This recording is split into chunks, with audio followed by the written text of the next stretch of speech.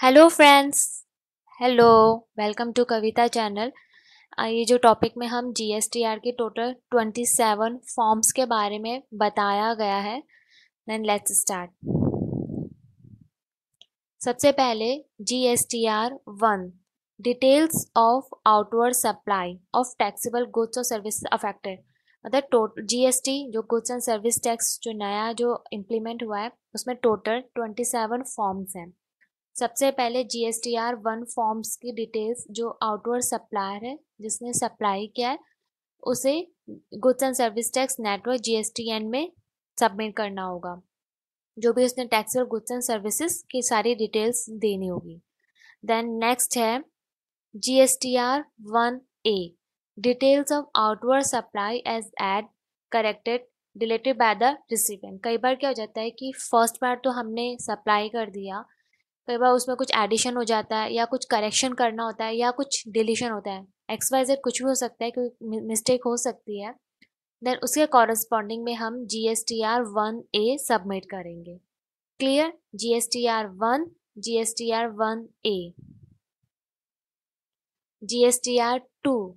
details of inverse supply inverse supply वो है जिसने माल परचेज किया है, जिसके गोदाम में माल इन हुआ है।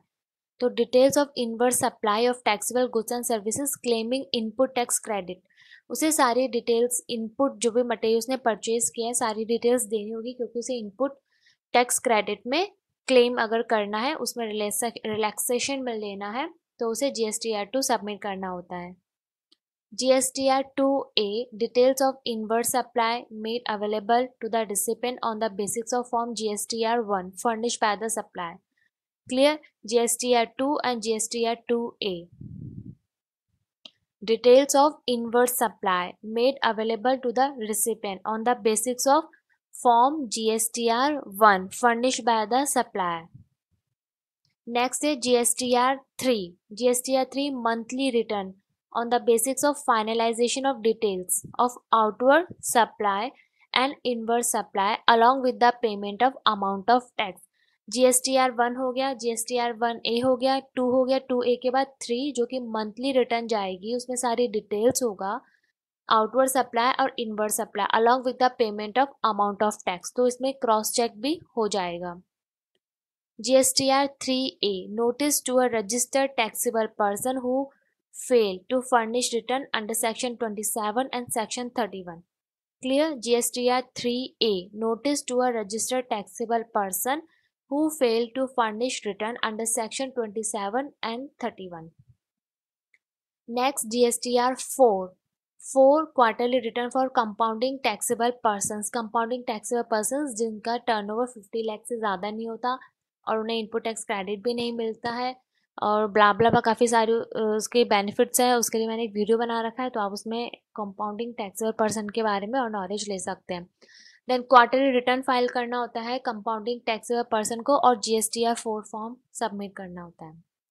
G S R four A details of inverse supply made available to the recipient register under composition scheme on the basis of form G S T R one furnish by the supplier fine G S T R five form G S T